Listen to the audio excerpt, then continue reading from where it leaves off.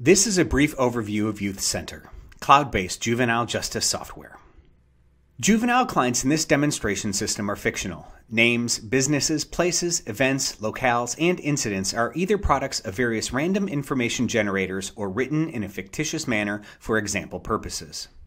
Youth Center is available on desktop, tablet, and mobile devices. For this walkthrough, we'll be using a desktop system. However, all of the functionality shown in the overview is available on mobile devices as well. When you log in, the first thing you will see is your dashboard. Each dashboard is customized per user. Each user can customize how the dashboard is laid out, what dashboard widgets are shown, and what information to display in each widget. This dashboard is set up to simulate what a JPO or intensive probation officer may want to see. This dashboard has widgets to search for clients, see what clients were recently viewed, a listing of the clients the PO has been assigned to, and any messages that have been sent to the PO by other users in Youth Center. Clicking or touching on a client's name in any of the widgets will take you to that client's summary. The client summary shows basic information about the client at a glance. Clients may have a profile photo or mugshot, their name, a client number, and in some cases, a court case number as well. Their primary caseworker is listed along with a number of tags that may be important to caseworkers. These tags are 100% customizable by administrators of your system. Common tags include dangerous animals in home, medication requirements, or some sort of allergy. Next to the client profile is their summary, which includes basic information about the client, including their name, age, address, programs, case team, along with other information. Probation officers appreciate the ability to click on the address and launch Google Maps, making it easy to find a client's home. Below the client summary is the court case summary, which includes basic information about the court case associated with the client. If the client is placed in detention, a timeline will be shown with their initial detention intake date and their estimated release date. Detention staff may do a temporary release for court or home or a complete release as well. The activity log for the client is like a Facebook or Twitter timeline of everything that has happened with the client while the youth is in your care. You can search on keywords or actions in the timeline, as well as filter on different objects like court orders and drug tests. Scrolling through the timeline, you'll see some items that are highlighted to call attention to them. Other items may show some tags that are associated with them in the listing. Here, we're showing that the client tested positive for cannabis and alcohol. To view the detail of an object in the activity log, click or touch that item to be brought directly to that object. To return to the client summary, click or touch on Summary in the menu on the left. The general profile for a client is where you'll find client name, status, aliases, and tags for the client. Users with edit privileges can edit any of the profile information by clicking the pen and paper icon.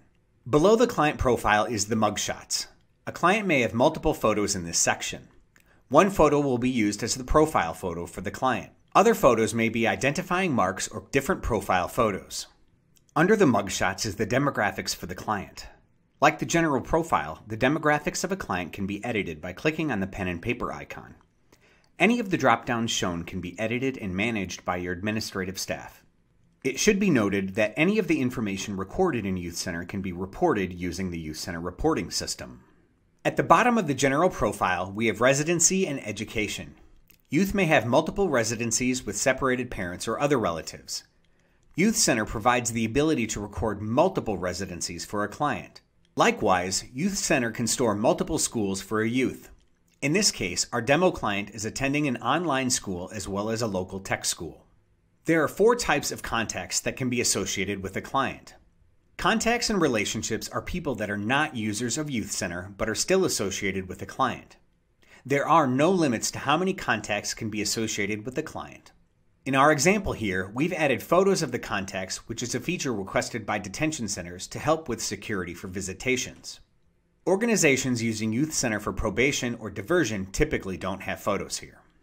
The client team are users in the Youth Center system. These contacts could be either JPOs, case managers, or other users. If your name is in the list, the client will show up on your dashboard in the My Clients widget. If a JPO is going on PTO and someone needs to cover this client, simply add that user into the listing of other team members. That client will show up in their dashboard in the My Clients widget. Below the client team, we have another location for storing the appointed or retained attorney information along with other case plan contacts for the client. Notes is the primary tool used in Youth Center. Case managers can enter in notes, add tags, and mark a note for specific eyes only.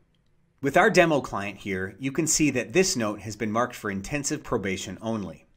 If I were logged in as another user who is not in the intensive probation user group, the system will auto redact that note from the listing. Probation officers appreciate the ability to use voice to text to enter in their notes. No more needing to keep a journal and retype information in. POs can enter in their case notes immediately after meeting with the client. We've only scratched the surface of the features available in Youth Center. To learn more, get a demonstration, or set up a trial, visit us at youthcenter.net.